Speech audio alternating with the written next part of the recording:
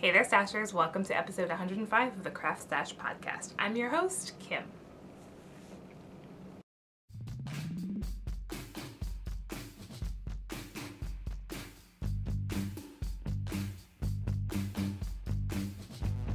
Hey there, Stashers. Welcome to episode 105 of the Craft Stash podcast. I'm your host, Kim. Let's pick a little theme music for the episode, shall we? Today is Monday, March 3rd in the year of our Lord 2014, and it's a Monday night. So it's around 11 o'clock, and um, I've had a full day at work and a full day of taking care of a sick kitty. So I think I want to be um, relaxing and sitting by the fireside. And then from there, I think I want something really lush, sexy, and relaxed. And then from there, I think I'm going to choose Sultry Sirens. If you're wondering what I'm doing, messing around with my favorite app ever, I really should be getting paid for doing this, but I love songza.com so much. I've got the app on my phone and I like to pick a musical theme every once in a while when we do the podcast. So right now we're listening to Kate Nash, her song um, The Nicest Thing. I kind of like Kate Nash. I think she's British. She's got a really witty, sharp sense of humor. Um, so she'll help us be a little bit warm and cozy tonight. How are you guys doing? Oh boy, Monday nights. Monday nights in March. I'm very excited about spring being on the way, but I'm not so excited because it's still friggin' freezing outside. Um, but such it is, such as it is, um, pretty soon I will be complaining about the heat, so I will hush my mouth. Um, if you guys are new to the podcast, welcome aboard. If you've been here before, welcome back. Thank you so much for sticking with me. Um, especially thank you for sticking with me because I've been made a bit of a liar thanks to our friends at blip.tv. If you are a um, video podcast, video craft podcast watcher, no doubt you've heard about all the craziness that people have been going through and the hoops that they've been jumping through because blip.tv has decided not to syndicate our podcasts to iTunes. Don't blame them. Everything's business. It's not personal. Get it. Um, my podcast in general, I think last week or two weeks ago, I actually recorded a mini episode talking about my new RSS feed, which turns out doesn't work. so the best way to watch the show will always be to head to creately.com slash craftstash. Um, I was going to use that website as my archive, but new episodes will still be there. I also have a new podcast site, which I'm not sure if I'm going to keep anymore because that solution didn't work out. It was craftstashpodcast.wordpress.com. We'll see what happens with that. If you're ever not sure, just head on over to our Ravelry group where you can find the Craft podcast group and keep in the loop there. In terms of tonight's episode, it's going to be short and sweet. I've got a little bit of what I'm crafting, a little bit of what I'm stashing, and some general periphery. So let's just jump right in, shall we?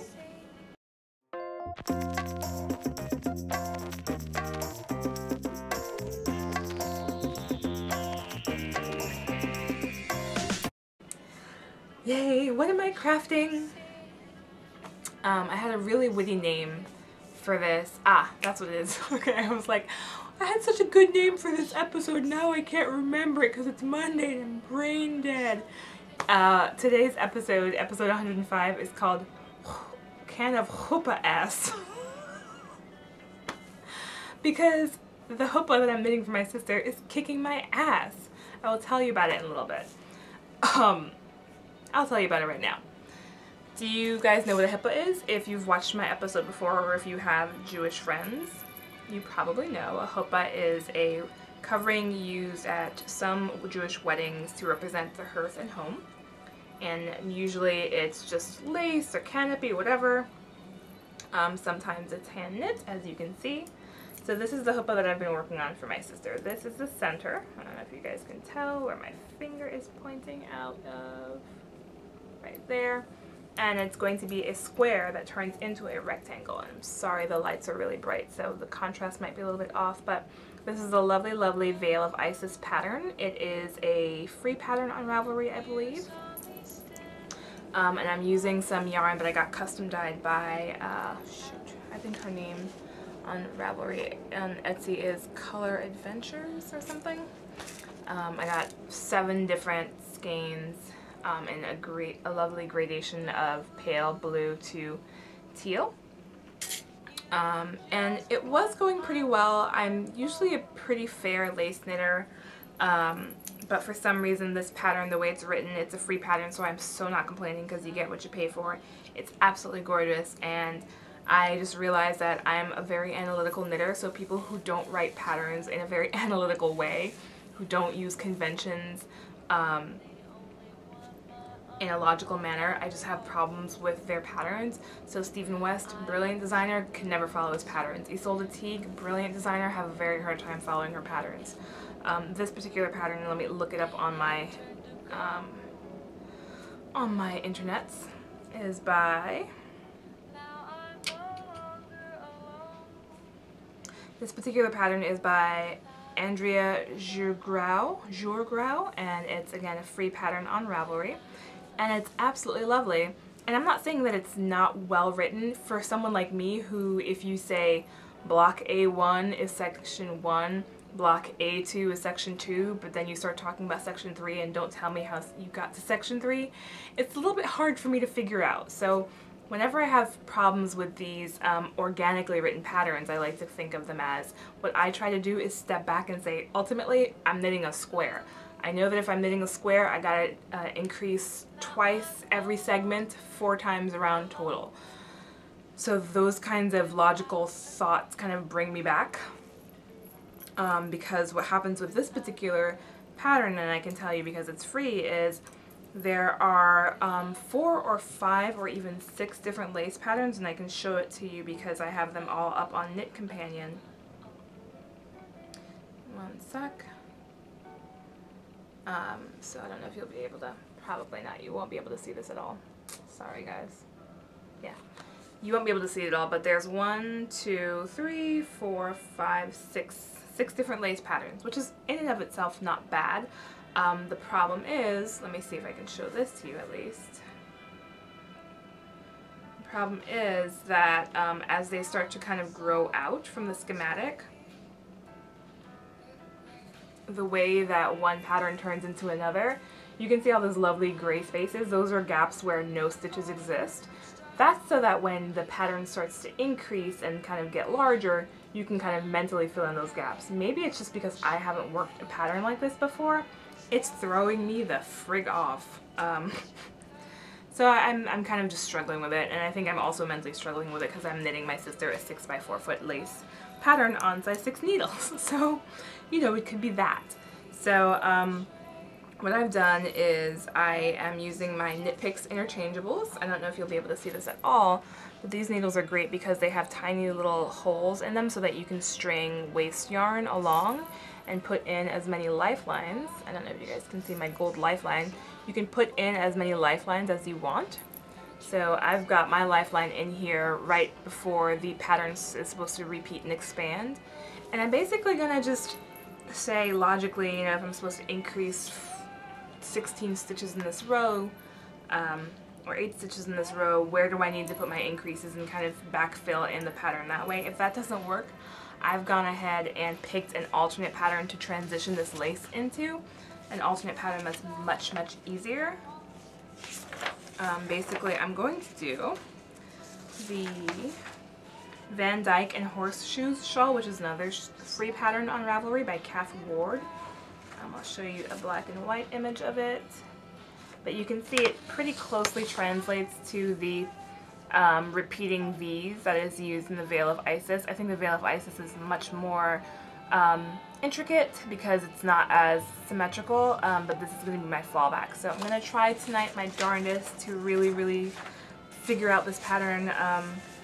And the other thing with free patterns is that the support, like I have not emailed Andrea at all, so I shouldn't say this, but um, not as many people have made this pattern, so I'm kind of on my own, I feel like, in terms of figuring it out. But um, it is what it is. I'm not complaining at all, just kind of letting you guys know you get what you pay for. Um, so the huppah is coming along. I've got until August to finish it. It's right now um, about the size of a pillow if I were to kind of fully block and stretch this out because you see it's a very dense lace. Um, so if I block it as aggressively as I'm planning to, it's going to grow a lot.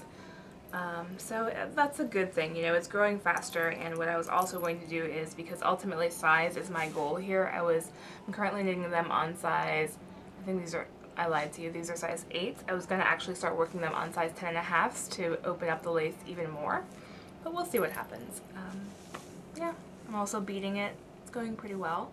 Um, I have to say thank you to Emily of the was just watching podcast because I was watching her podcast recently and she mentioned I don't know which pattern she was working on but she was working on a pattern that needs a lot of different stitch markers and my stitch marker collection is growing very nicely thanks to some Etsy sellers who always include them free with their patterns. However, um, because I've got several different repeats on this, I was going to potentially need stitch markers in the 10s and 20s. So as I was watching uh, Emily's podcast, she mentioned that she uses these really cheap little rubber bands. Um, I know them from when I was a kid and my mom used to do my hair and she would put these on the ends of my braids. but I think most other people know them because they are used to make those stretchy little bracelets that kids play with these days. So, you know, braid rubber bands, stretchy bungees, whatever these are called, um, I'm using these as stitch markers um, just to keep my place. And they're working pretty well. So that is my chuppah, which is hooping my ass. um, but I'm gonna slog through it because it's for my sister and it's an heirloom. So, what else am I crafting? I'm also, I have a finished object that I will show you in just a hot second, but remember a couple of weeks ago I was working on like four different cowls at the same time? I have since abandoned two of those four cowls. Um, I finished one of them a couple weeks ago.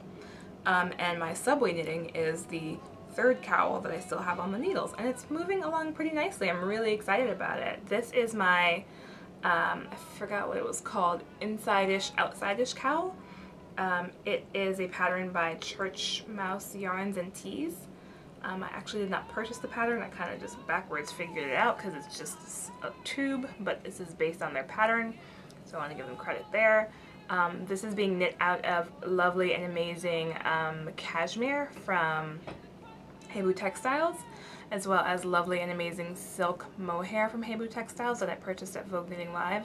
Really simple pattern. I think I just cast on um, somewhere between 120 and 180 um, stitches on size 3 circular needles, joined in the round, and just started knitting up I put in a tiny bit of lace. I don't know if you guys can see. My lighting is a little bit bootleg because it's nighttime.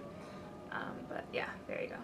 There's a little triangle lace happening there. Um, and the point of this cowl is that you can wear it tall by just letting all the layers kind of hang out, hang up. Or you can fold it in on itself to do a double layered cowl. So that's the idea pretty straightforward. Really, really excited about it. Um, this is probably the finest yarn that I've ever knit with in terms of thinness. I don't know if you guys can see how thin it is. And this is the fuzzier uh, silk mohair, so the cashmere was a two-ply cashmere, which is ridiculously thin. Um, but it'll be nice and soft and warm to the touch, so I'm excited about that. It's probably going to take me another month to finish it because it's so tiny and I only on it about 20 minutes a day while I'm, at, while I'm commuting, but it's keeping me very happy. It's very, very mindless. I like it. Um, the other thing that I'm crafting in progress but not finished, I will keep the whip till the end, I will keep the FO to the end, is some spinning. Um, I kind of had a weekend of fails with knitting this weekend between me trying to get some more work done on my Measure in Love cowl, me trying to get this chuppah together. Um, I had an, a misadventure in arm knitting, which I'll talk about in a second. Um, spinning was kind of my go-to to keep me sane and keep me remembering that I'm a decent crafter after all, even though I was having a crappy crafting weekend. Um, so I started spinning these lovely, lovely um, tribbles from Kate of Gourmet Stash. Um, so I can't even remember when I got these tribbles, but these are some of her Muse Uprising tribbles, which is a lovely, lovely black, charcoal black, um, with pops of rainbowy uh, color. Uh, I think it's 100% merino. There's not a lot of special funky stuff in here, which is nice. Um, it's nice to just have an easy spin. I'm spinning this on my golden spindle. Sorry, the colors are, again, going to be off because I'm recording at night. I don't know if you guys can, yeah, you probably won't see some of the color play in there. Let me try this for you. yeah, it just looks jet black, but there's a lot of fun um, subtle colors playing around in here. So I'm really, really excited about that. Um, and I'm keeping it in my very simple spindle bag, which I got at um, the Zombie Apocalypse last year.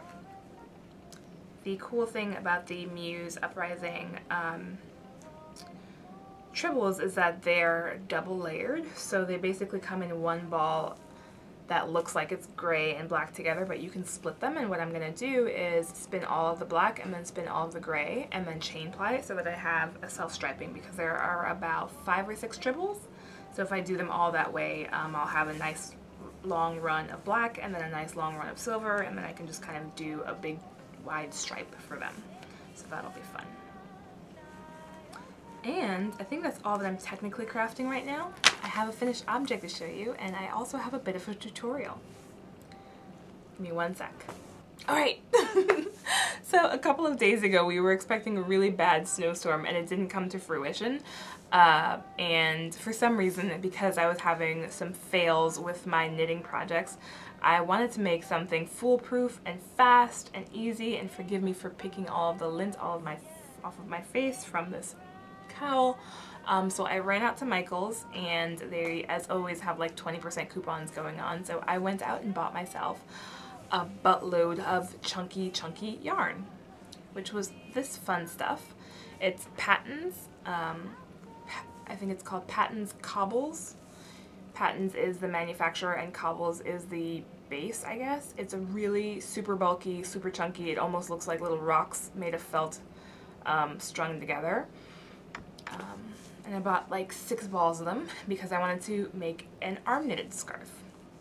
Actually, that's not true. I wanted to make a big chunky fast scarf and because my gauge is never ever on even though I knew that each of the hanks were 42 yards, I ended up buying six of them because I was like, oh, I don't know how many I'll need. How many yards uh, will 42, uh, how many, how big of a scarf will 42 yards of super bulky yarn make? No clue. So I bought six of them and essentially ended up making a blanket. I came home and tried to knit them on my size 17 knitting needles and promptly got some hand cramps and I said, oh my god, this is not cool. Then I tried to crochet them and realized that I only like crochet in very certain kind of configurations plus my hands started to hurt and I was like crap what am I gonna do with all of this yarn and then I remembered that I technically know how to arm knit so I refreshed my memory by looking at a couple of arm knitting videos on YouTube. And then I promptly set out to say, well, I want a really big, thick cowl. So these people are casting on five stitches. I'm going to cast on 20. and I proceeded to make a blanket scarf, um, which was kind of fun, but because I was not planning on making a blanket scarf, I had to frog it. The good thing is that this huge, huge um, throw that you see took me about an hour to knit. Um, and that's after me messing up several times and not really remembering how to cast on for arm knitting. So um, I kind of let it sit on the bed for a day and then I ripped it out. And I made these really fun big balls of yarn, which I don't actually have with me. It's fine. Give me one sec. Yes, sorry, I had to go out and grab these because they're such fun, fun things to look at. These are my big balls of yarn. I bought um, two different colors. Um, I think one is called Char Gray, and the other call is called Moon Rock, which is basically a grayish brown and black. And what I did was I also, because I was at Michael's and they have shit tons of fun cheap yarn, I bought some Caron's Simply Soft in a very bright indigo color. And I held it, uh, I held two of the strands of the Patons together, along with one of the strand of the Caron. Simply Soft. So I had a big ball of the black and the gray together, a big ball of the gray together, and then a big ball of the black together. So I got home today and I knit myself this huge chunky infinity cowl. Um, and I figured because it, this literally took me 15 minutes, um, I would do a super quick tutorial.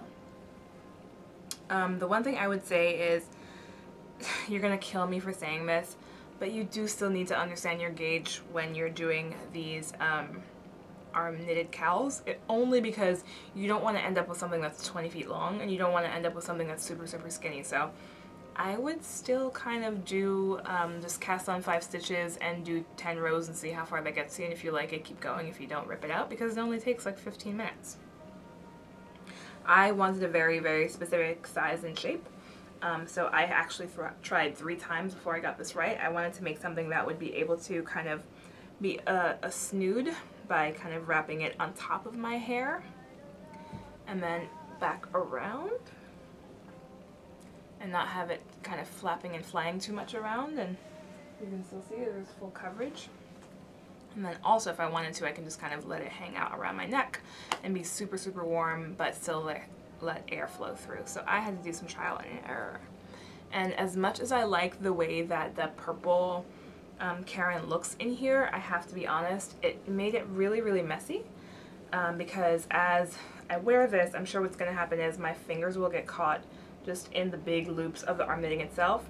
But these skinnier Caron um, loops, I just, just know are going to be pulled out of, out of shape all over the place. So lesson learned, probably won't do it again, but it does provide a fun pop of color because otherwise this is a whole lot of black and gray for me. Um, but yeah. the other thing that I'm learning about this yarn is that it's very, very splitty. So there are little wisps flying everywhere. But that's the price we pay for warmth. So let me do a quick arm knitting tutorial before we talk about stash. Actually, I will talk about stash first because I only have one thing. Um, I have been, not stalking, but I've been waiting to get an update from, I think the way this Etsy store is pronounced is Quurare, Q-U-A-R-A-R-E. Um, she has lovely, lovely, lovely multiple color self-striping and she's all over Instagram. I think her name is Janelle. Um, and I finally scored some and I'm very, very excited. This is going to be my first multi-stripe that's more than four different colors.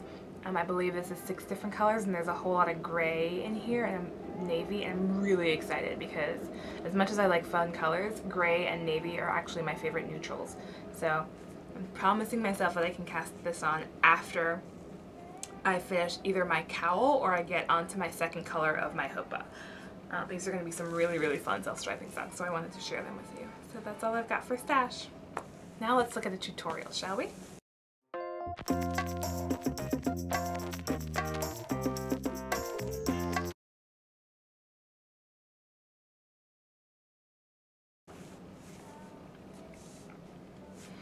So I think um, I like a lot of the tutorials that are out there for arm knitting um, on YouTube and on blog websites like KnitPicks and um, Lion Brand because they're very, very straightforward and simple and their audience is people who don't knit, so if you are intimidated by arm knitting, it's a really good resource. However, if you do knit, I feel like they take things a little bit too slow. When I try to remember how um, arm knitting is supposed to start when using those tutorials, it kind of throws me off. So I'm going to stand up and show you how I start arm knitting. So this is just some sample yarn and hopefully you guys can see it enough color contrast. Um, the thicker the better, that's why I had doubled these up. At one point I had even put four strands together and that made it super super thick so if you wanted to make a rug or a seat cushion or something really, really big and smooshy and floofy, you know, four super bulky yarns like this would be perfect. For a scarf or anything to wear, it just became like wearing a pillow or wearing a teddy bear, so that's why I would discourage it. But for this quick demo, I'll just use one strand to show you. So as a knitter, you want to think about your hands as two knitting needles. They're kind of amazing knitting needles because they are, while they're not double, double pointed, they are crochet hooks at the same time as they are knitting needles. And I'm going to keep flexing my muscles here so you can see. Um, you want to think about your hands as knitting needles when you are um, kind of having the, the, the stitches kind of held on your arms, but you want to think of your arms as crochet hooks when you are actually doing the arm knitting. I'll tell you what I mean by that. First you're going to start by measuring out at least two arms length. Then you're going to make a slip knot or any old knot that you're comfortable with. Now you're going to think about your figure eight cast on that you normally do. Um, this is the part that was really confusing while watching all of the videos on YouTube because they assume that you don't know how to cast on for knitting. If you do, just think about it as um, you are you're still using this your left hand as a regular hand. Um, you're using your right hand as if it was a knitting needle. So I have got my yarn and my loop on my knitting needle hand and I'm using my left hand as a regular hand and I'm doing that fun thing where you kind of grab both ends of the yarn and slingshot it open and then wrap your fingers so that you're kind of holding the yarn like as if it was a gun. Now I'm going to take my knitting needle hand, scoot it under, can you see that? Yeah. Scoot it under the thumb and now pretend that it's a crochet hook and grab the yarn from over your index finger. While you're doing that, you're going to put that loop onto your, transform it back into a knitting needle and put it onto your knitting needle hand. Now you've got two loops. Let's do that again. I'm going to pretend um, this is a knitting needle. I'm going to scoot under my thumb. Now I'm going to pretend this is a crochet hook and I'm going to grab over my index finger. That's three. Do that again. Under the thumb. over the index finger. That's four. Let's do it one more time.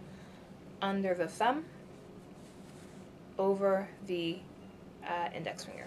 So now I've got five loops. Now, they're both knitting needles again, so I need to transfer things from one needle to the other. How do I normally do that? Snug it up a little bit. Um, wrap your your yarn around your fingers as you normally would and transfer over. Now what you would normally do is pick this loop up from using your knitting needle hand as if it was a crochet hook, kind of pick this, pick the working yarn up and slip it over. But I actually do because I like the neat edges. Um, you know how when you knit, you can do the thing where you slip the first stitch, knit the last stitch always. I do that so that you have a nice neat edge. So I'm just going to slip the first stitch and then continue to knit. So to knit, I'm going to keep my working yarn in my left knitting crochet hook hand. Now, and use my left hand to slide off the live stitch from my right hand now I use my right hand to pick that, in, that uh, yarn back up and put the loop on my left. And now it almost feels like crocheting because it's all about moving loops from left to right. Let's try it again. I've got my left knitting needle hand, I've got my right knitting needle hand, my right knitting needle hand, sorry, my left knitting needle hand picks up the working yarn, slips off the loop from my right hand, using my thumb to kind of hold it, now use my right hand to fish it back out. Put that loop on the left. One more time. We're going to use your left hand to hold the yarn. Slip the loop off of your right hand with your left thumb. Use your right hand to open the loop back up and scoop up the yarn out of your left hand and put that loop on your left hand now. Now we're at the last stitch. So again, I'm going to knit this last stitch by uh, using my left hand to hold the yarn and my right hand to pull it through. You can do it all in one movement. Um, I was just doing it in separate movements to make it easier. So now it doesn't look like very much. So now here's the part where you slip the first stitch. Don't do anything to it. Now you go, you use your, your right hand to fish the left loop off of your left hand and then pick up the yarn doing the same exact thing that I was before, only I'm going a little bit faster. Let me do it slow again. So I'm going to use my right hand to hold the yarn, use my right thumb to pluck the loop off my left hand, open that loop with my left hand, pull the yarn through, and pull that loop onto my right hand.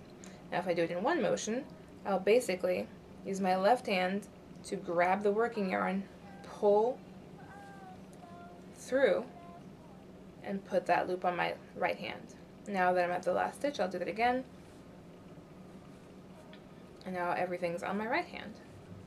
I'm going to do that a couple more times. And then I'll talk about how to keep this looking like knitting and not like garter. Once you get a rhythm, it's really, really easy as a knitter. You just kind of fly through this. Just get a couple more rows on.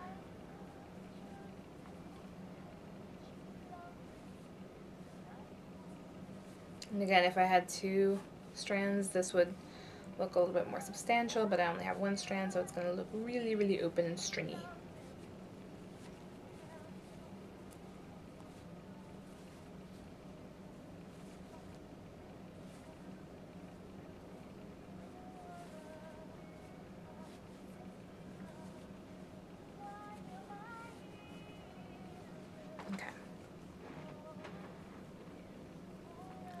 So you can already see I've got little bit of stuff happening. And again, it should look more substantial because I'd be holding more than one together. But I don't know if you can tell, this is the wrong side because this is the garter stitch side or the, the reverse stockinette side, and this is the knit side where everything looks nice and smooth and, and uh, stockinette stitch. The way that I'm keeping that by ha happening, let me see if I can turn a little bit to show you while I knit. Um, as you're picking up your yarn, you're going to kind of see that this, the, the smooth stockinette side is facing you. And in order to keep that going, you want to just make sure that the way that you open the loops keeps your knitting looking like stockinette. If you all of a sudden just pull this straight through, you're going to see a twist. You don't want that if you want the stockinette look. You want to make sure that you open it up such that the left leg of the stitch kind of stays on the left, if that makes sense. So your hands might actually do a couple of different things if you're not paying close attention, but the reason I like it is that I don't have to remember to always go in through the left leg or the right leg. I just kind of do what I need to do. And as I'm working back and forwards, you just make sure that you always want the knit stitch to be open and not crossed on itself. The other reason that I like this arm knitting is because if you've never uh, reverse knit, the thing where you knit back and forth and never have to purl, and still get stockinette stitch is a really good way to kind of practice that um, because that's essentially what you're doing. You're knitting back and forth on two, on two needles that are not double pointed and you're not turning it around and you never ever have to purl. So that's why I like it. So now as we're getting towards the end, you can see I have a small ball left. I'm just going to do a couple more rows because I want to show you how to bind off. And there are tons tons and tons of YouTube videos, free tutorials that are pictures, paid patterns that have pictures and videos because this is so easy and fun. Um, and if you were like me and you're having a weekend of fails, it's just nice to kind of have a quick scarf already done in like five minutes. And you can forgive all the ends that I have because this is like five small pieces that I cut and sewed, like knotted back together. So now that we've decided that our scarf is long enough and we're going to try and bind off, binding off you're also using the crochet concept because you're basically going to want to make sure that you start dropping loops. Right, you want to have less loops. So right now I have a total of five loops. One, two, three, four, five. So as I walk work across this one last time, I should have four loops, and three loops, then two loops, then one loop. And the way I'm going to do that is I'm still going to slip my first stitch without working it. I'm going to knit my second stitch. Now I, I have one loop on my left, sorry, my right needle hand, and one loop on my left needle hand, and I'm just going to slip the right needle hand loop back over this loop, and I've now lost one. I've got four total. Let's do that again. I'm going to leave my right needle hand loop. I'm going to knit from the left. Now I've got two on the right and just slip it back over. Do it one more time. Work that stitch from left to from right to left. Still got two open.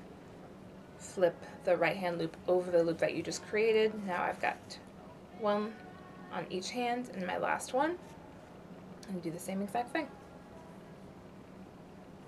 And now you just pull it all the way through. And if you wanted to, make a cowl, you would try really, really hard. and this would be a little bit easier because you um, always slipped the first and knit the last. You'd be able to kind of take end to end and mattress stitch them together to form an infinity cowl. So hopefully that was helpful. Hopefully that was clear. And hopefully that was enticing and now you want to make your own infinity scarf.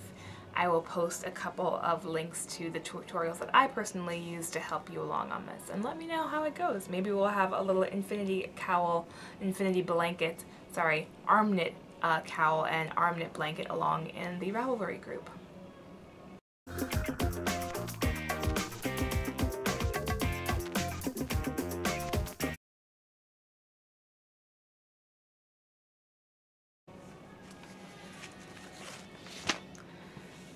Okay guys, how about a little periphery for you? So I have been debating on some news um, and I don't want to make a big deal out of it. Um, I think it's a very, very personal thing, but I, I know that a lot of you guys have been asking me over Instagram and over the podcast um, Ravelry group over the past couple weeks about my kitten, my kitten catten, Tiger Lily. She's so awesome, but she's not doing very well um, we found out that she had some bad teeth and as she was getting her bad teeth pulled we found out that Kitty's got cancer. Um, she's got something called a squamous carcinoma which is a growth. Um, I think it's germane to the lymph nodes but I could be making that up. Um, a lot of older cats get it. She's about 13, 14 years old right now. Um, and a lot of older cats get it and she has a growth on her tongue so it's really really hard for her to eat and over the past couple weeks she's not been doing very well. So you know I'm enjoying as much time with her as I possibly can. A couple of you guys know and you've been so so so supportive and I really really thank you. And I was really debating on whether or not to say anything in the podcast um, but it's been the reason that I haven't been podcasting and it's probably been the reason that my craft mojo has been off. Um, she's an awesome awesome girl and she's trying really really hard but I, yeah, I'm probably not the kind of person that's going to try and keep her alive because I don't think that's very nice. Um, she lived a very good life, so she will be with me as long as possible, and when she's not with me, I want her to be as comfortable um, and as quickly not here as possible, so just a little heads up. um, sorry if that's a bit of a downer. Thank you guys so much for your support. Um, I think you guys know this about me by now. My podcast is pretty real. I try not to sugarcoat things and I try not to get on soapboxes. Um, but if something's bothering me, I'll let you guys know. So this has been bothering me and I'm letting you guys know. So thank you so much for your support. Really, really appreciate it. Um, and hopefully you and I can hang out with Tiger a little bit longer. Um, and yeah. Other than that, I kind of feel like I don't really want to talk about the weekend. Um, it was me hanging out with, with Tiger and it was really, really nice for what it was. So on that note, sorry if it was a bit of a downer. Um, yeah. yeah, I don't know how to end that. Sorry. Maybe I will cut this part out. But anyway, um, not much more periphery outside of that. Um, in the meantime, please don't forget, now it is March. We're going to have a March birthday uh, thread up. So I'm going to be pulling a winner for the February birthdays next time we meet just because it's Monday night and I'm kind of like, ah, um, but please do keep playing along. You also have the rest of this month, March, to get in on the fun of the uh, first quarter along, which is the Gracious Gal gift along. You basically are just knitting or crocheting or spinning up something um, that is a pattern that either someone gifted to you or you gifted to someone, and there's going to be a fun prize at the end of the month for that. And I think that's, I think that's pretty good. Thank you guys so much for sticking around. I know that there are so many different options for podcasts, and especially now that iTunes and I need to start figuring ourselves out again, um, it might be harder to get to the episodes, but I do really appreciate you sticking around because you guys keep me coming back for more. I, I'm addicted to talking to you guys. I just can't stop. Every time I think that life is getting too busy, um, I get brought back in and I really, really enjoy it. So thank you guys so much for sticking with me, and if you can't craft it, stash it. Cheers.